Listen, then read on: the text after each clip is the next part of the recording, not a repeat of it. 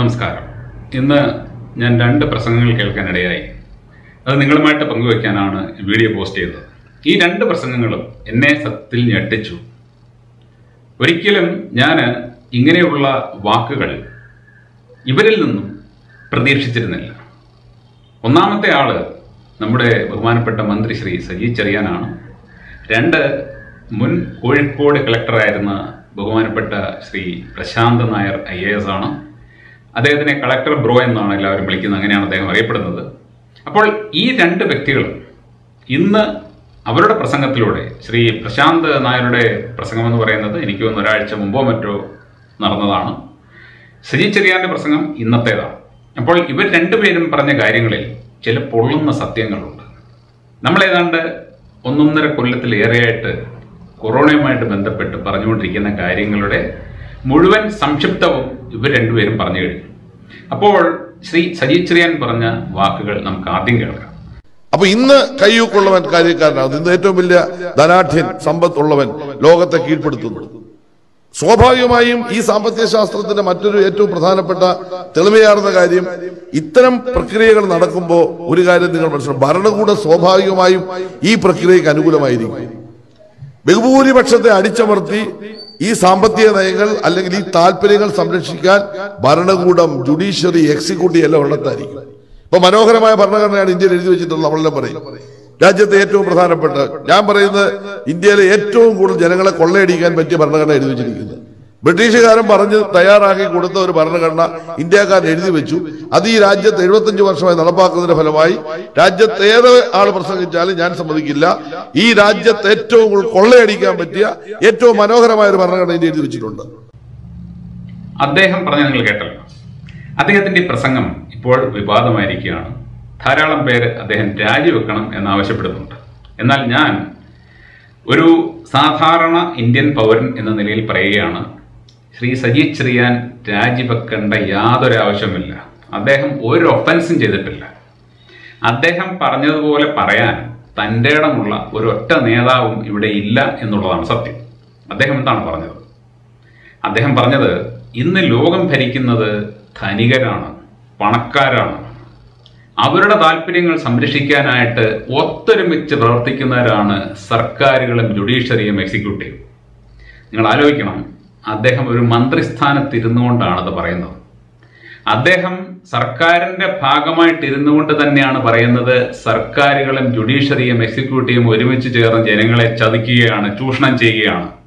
അങ്ങനെ പറയണമെന്നുണ്ടെങ്കിൽ ഒരു വ്യക്തിയുടെ ഉള്ളിൽ ആത്മാർത്ഥത വേണം ആർജവം വേണം. അതിലേറെ അദ്ദേഹത്തിന് ചില സത്യങ്ങൾ പറയാൻ ഏറെക്കാലമായിട്ടൊരു പക്ഷേ അദ്ദേഹം ആഗ്രഹിക്കുന്നുണ്ടായിരിക്കണം. അതിനൊരു അവസരം കിട്ടിയപ്പോൾ എന്ത് തന്നെ സംഭവിച്ചാലും ഞാൻ പറയും. എന്നുള്ള തന്റെ ഇടത്തിൽ തന്നെ അദ്ദേഹം പറഞ്ഞാണ്.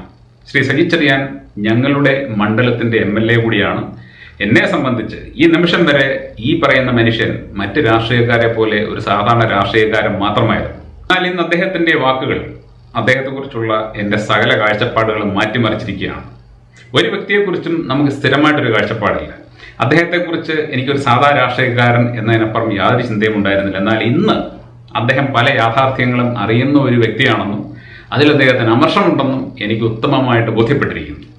അദ്ദേഹം ഭരണഘടനയെ അവഹേളിച്ചു. അതുകൊണ്ട് അദ്ദേഹം രാജിവെക്കണമെന്ന് ചില നേതാക്കന്മാർ പറയുന്നത് കേട്ടു.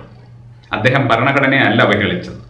അത് ആ പ്രസംഗം ശരിയായിട്ട് കേട്ടാൽ നമുക്ക് ബോധ്യപ്പെടും. അദ്ദേഹം പറഞ്ഞത് ഈ രാജ്യത്തെ കഴിഞ്ഞ എഴുപത്തിയഞ്ച് വർഷമായിട്ട് ഇവിടെ മാറി മാറി വന്ന് ഭരിക്കുന്ന സകല സർക്കാരുകൾ കേന്ദ്ര സർക്കാരുകളും സംസ്ഥാന സർക്കാരുകളും കൊള്ളയടിച്ചുകൊണ്ടിരിക്കുകയാണ്. അവരിങ്ങനെ കൊള്ളയടിക്കണമെങ്കിൽ അതിന്റെ മൂലകാരണം എന്താകും എന്ന ചിന്തയാണ് അദ്ദേഹം പറഞ്ഞത് ഈ ഭരണഘടനയാണ്. അപ്പോൾ അദ്ദേഹം കുറ്റപ്പെടുത്തുന്നത് ഭരണഘടനയല്ല ഭരണഘടന നല്ലതാണെങ്കിൽ എന്തുകൊണ്ട് ഇത് സംഭവിക്കുന്നു എന്നതാണ് അദ്ദേഹം ചോദിക്കുന്നത്. ഭരണഘടന കുറ്റമറ്റതാണെങ്കിൽ എങ്ങനെയാണ് ഈ രാഷ്ട്രീയക്കാർ വല്ലവർക്കും വേണ്ടി ഈ പാവപ്പെട്ട ജനങ്ങളെ നിരന്തരമായിട്ട് ചൂഷണം ചെയ്തുകൊണ്ടിരിക്കുന്നത്? അതിന്റെ ഉത്തരമാണ് അവർ കൊടുക്കേണ്ടത്. പിന്നെ അദ്ദേഹം ഭരണഘടനയെ വിമർശിച്ചെങ്കിൽ അതിന് അദ്ദേഹത്തിന് സ്വാതന്ത്ര്യമുണ്ട്. ആ സ്വാതന്ത്ര്യം കൊടുക്കുന്നത് അതേ ഭരണഘടന തന്നെയാണ്. അദ്ദേഹം രാജിവെക്കണമെന്ന് ആവശ്യപ്പെടുന്ന എല്ലാവരോടും ഞാൻ ചോദിക്കുകയാണ്. ശ്രീ സജി ചെറിയാന് അഭിപ്രായ സ്വാതന്ത്ര്യം കൊടുക്കുന്നത് ഇതേ ഭരണഘടന തന്നെയാണ്. ഇന്ത്യ മഹാരാജ്യം ജീവിക്കുന്ന ഏത് വ്യക്തിക്കും ഇതുപോലെയുള്ള അഭിപ്രായങ്ങൾ പറയാനും വിമർശിക്കാനുമുള്ള അവകാശം ദ റൈറ്റ് ടു സ്പീച്ച് ഈ ഭരണഘടന കൊടുക്കുന്നുണ്ട്. അദ്ദേഹം അത് മാത്രമാണ് അവിടെ വിനിയോഗിച്ചത്. എന്നാൽ അദ്ദേഹം അവിടെ ഭരണഘടനയെ കുറ്റപ്പെടുത്തിയതല്ല. ഞാൻ വീണ്ടും പറയുകയാണ് അദ്ദേഹം അവിടെ പറഞ്ഞത് ഈ രാജ്യം ഈ രീതിയിൽ പോകുന്നതിന്റെ മൂല കാരണം ഇതല്ലേ. ഈ ഭരണഘടന കുറെ കൂടി കൃത്യതയുള്ളതും അല്ലെങ്കിൽ കുറെ കൂടി ഊനമില്ലാത്തതുമായിരുന്നെങ്കിൽ ഈ രാഷ്ട്രീയക്കാർക്ക് ഇങ്ങനെ ജനങ്ങളെ കൊള്ളയടിക്കാൻ പറ്റുമായിരുന്നോ എന്നുള്ളതാണ് അദ്ദേഹം അവിടെ ഉദ്ദേശിച്ചത്. അല്ലാതെ ഈ ഭരണഘടന എടുത്ത് ദൂരെ കളയണമെന്നോ അത് തീർത്തും കൊള്ളാത്തതാണെന്നോ അല്ല. അപ്പോൾ റിസൾട്ടാണ് അവിടെ പ്രധാനം. എന്തുകൊണ്ട് ഇത് സംഭവിക്കുന്നു? നല്ല ഒരു ഭരണഘടനയാണ് അവിടെ ഉള്ളെങ്കിൽ അല്ലെങ്കിൽ നമ്മുടെ രാജ്യത്തെ നിയമങ്ങളെല്ലാം കുറ്റമറ്റതാണെങ്കിൽ എന്തുകൊണ്ട് ഇവരിങ്ങനെ ഉള്ളയടിക്കുന്നു? എന്തുകൊണ്ട് ശരിയായ ദിശയിൽ പോകുന്നില്ല?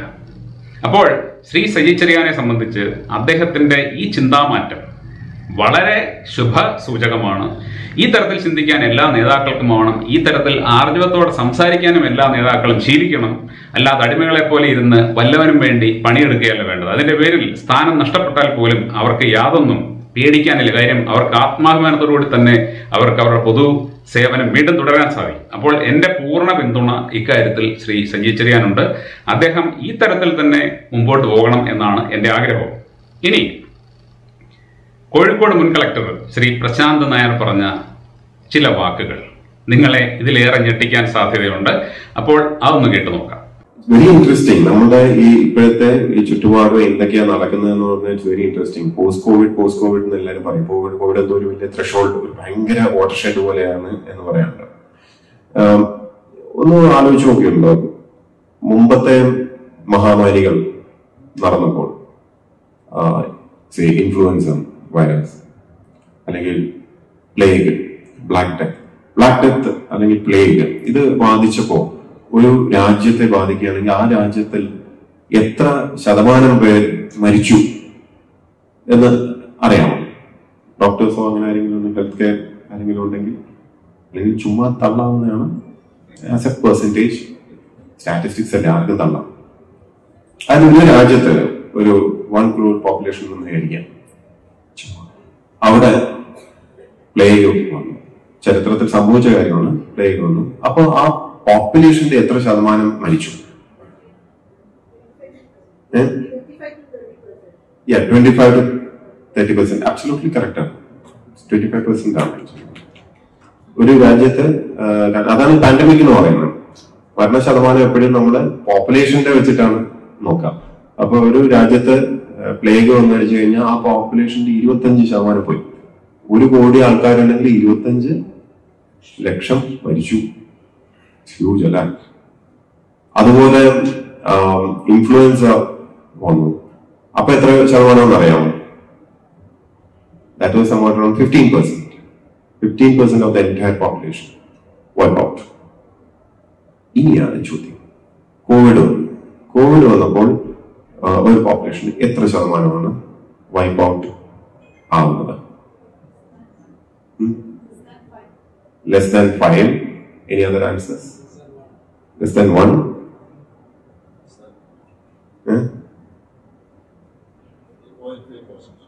point five percent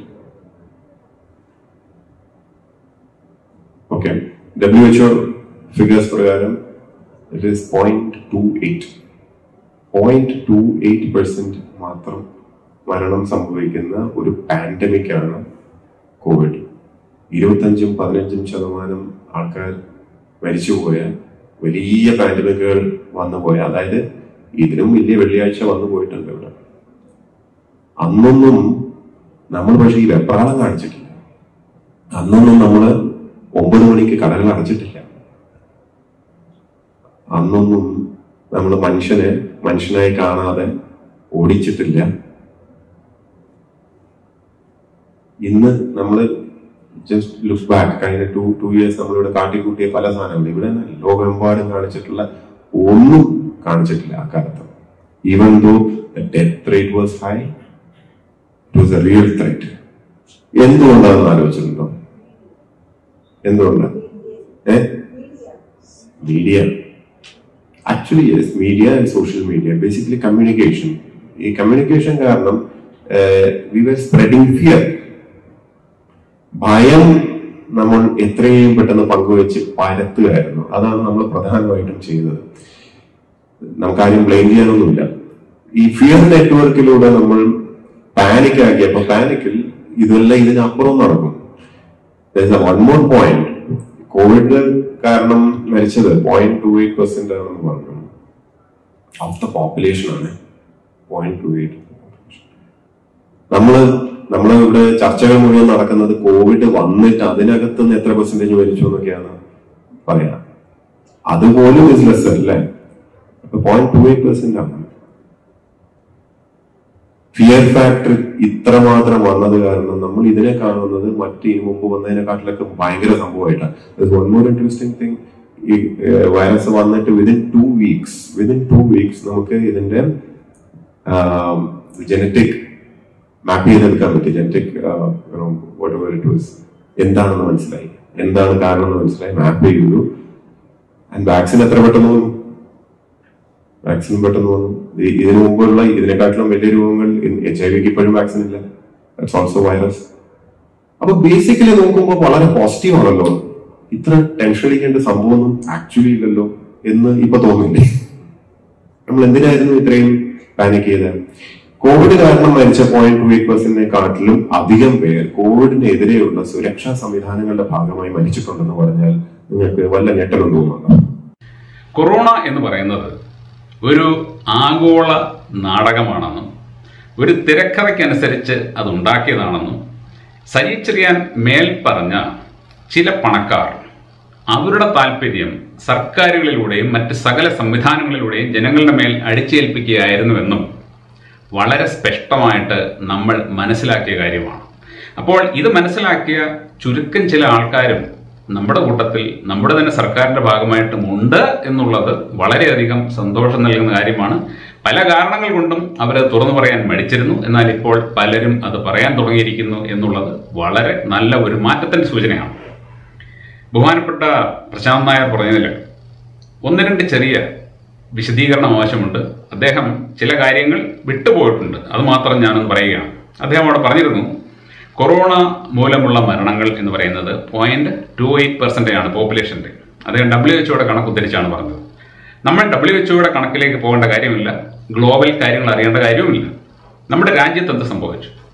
India മഹാരാജ്യത്ത് corona മൂലം ഇന്നത്തെ ദിവസം നമ്മൾ എത്തി നിൽക്കുന്ന ഇന്നത്തെ ദിവസം ഇന്ത്യയിൽ കൊറോണ മൂലം സംഭവിച്ചിട്ടുള്ള മരണങ്ങൾ എന്ന് പറയുന്നത് point zero three eight percentage ആണ്.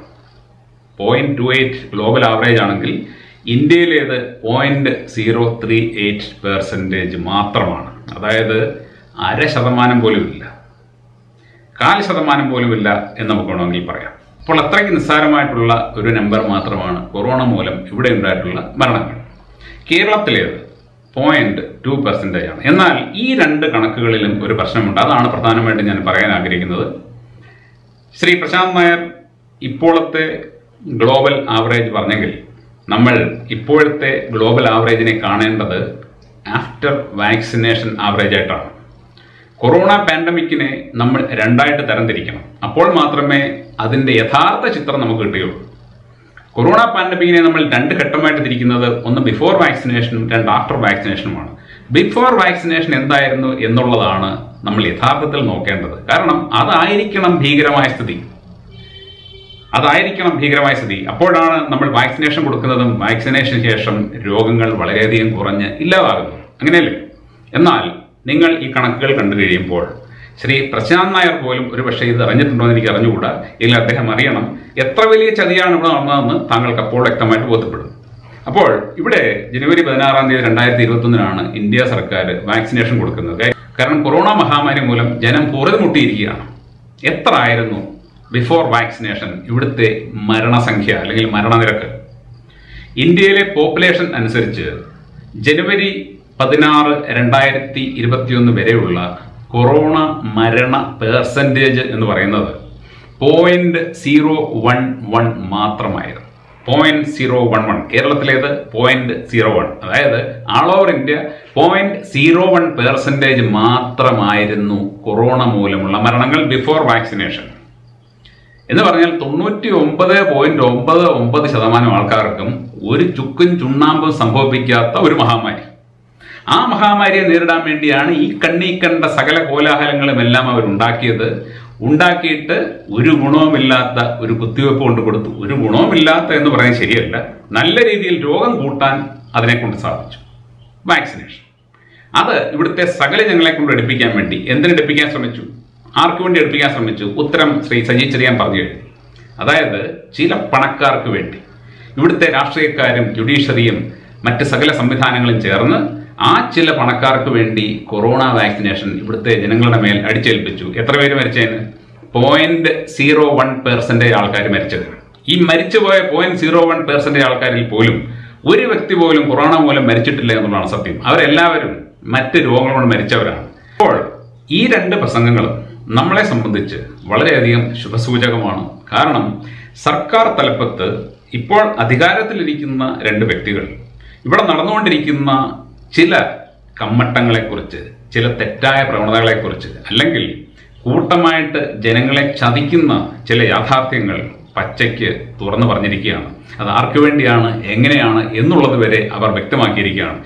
ഈ രീതിയിലേക്കൊന്ന് മാറി ചിന്തിക്കാൻ ഞാൻ എല്ലാ മന്ത്രിമാരോടും എല്ലാ ജനപ്രതിനിധികളോടും പറയുകയാണ്. നിങ്ങൾ യഥാർത്ഥ ജനസേവകരാകാൻ ആഗ്രഹിക്കുന്നെങ്കിൽ ഇതേ രീതിയിൽ മാറി ചിന്തിക്കണം. അപ്പോൾ മാത്രമേ നിങ്ങൾക്ക് ഒരു നല്ല മനസ്സോടുകൂടി അല്ലെങ്കിൽ എന്താണ് പറയുന്നത് ഒരു ആത്മനിർവൃതിയോടുകൂടി മരിക്കാൻ പറ്റുകയുള്ളൂ. ഒരു വ്യക്തി മരിക്കുന്ന സമയത്ത് അയാൾ പിന്തിരിഞ്ഞു നോക്കുമ്പോൾ ഞാൻ എന്തൊക്കെ നല്ല കാര്യങ്ങൾ ചെയ്തിട്ടുണ്ട് എന്റെ ജീവിതം കൊണ്ട് ആർക്കെങ്കിലും എന്തെങ്കിലും ഗുണമുണ്ടായിട്ടുണ്ടോ? ഞാൻ എത്ര കോടി ഉണ്ടാക്കി ഞാൻ എത്ര വലിയ സ്ഥാനത്തെത്തി എന്നുള്ളതൊക്കെ ഇറലവന്റ് ആണ് ആ സമയത്ത്. അവന്റെ ജീവിതം കൊണ്ട് മറ്റുള്ളവർക്ക് എന്ത് ഗുണമുണ്ടായി? അത് മാത്രമായിരിക്കും അവന്റെ നേട്ടം. ആ രീതിയിലേക്കൊന്ന് മാറി ചിന്തിക്കാൻ ഇപ്പോൾ അധികാരമുള്ള സകല വ്യക്തികളും ചിന്തിക്കണം. എന്ന് അപേക്ഷിച്ചുകൊണ്ട് ഈ രണ്ടു പേർക്കും ഞാൻ എന്റെ വളരെ വലിയ ഒരു നന്ദി ഒരു സല്യൂട്ട് നൽകുന്നു.